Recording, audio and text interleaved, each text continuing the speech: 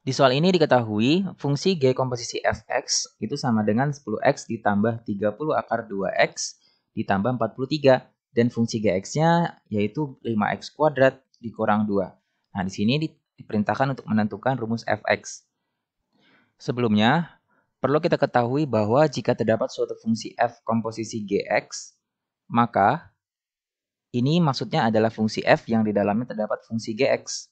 Sehingga fungsi G komposisi fx ini kita bisa ubah menjadi fungsi G yang di dalamnya terdapat fungsi fx. Nah, sama dengan 10x ditambah 30 akar 2x ditambah 43.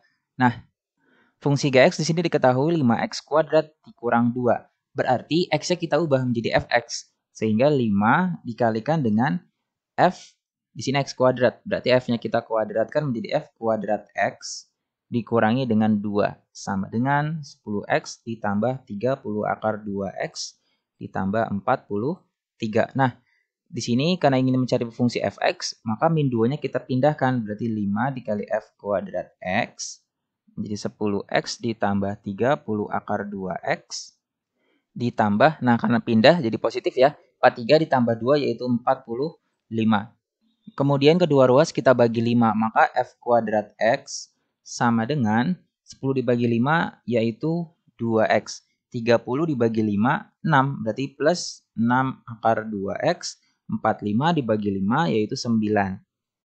Kemudian, karena di sini ada kuadrat, maka kuadratnya kita pindahkan, maka menjadi bentuk akar. Sehingga di sini fx sama dengan, nah karena di sini bentuknya akar, maka hasilnya bisa plus, bisa minus.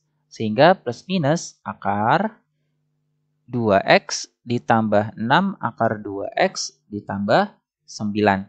Maka inilah rumus fx-nya.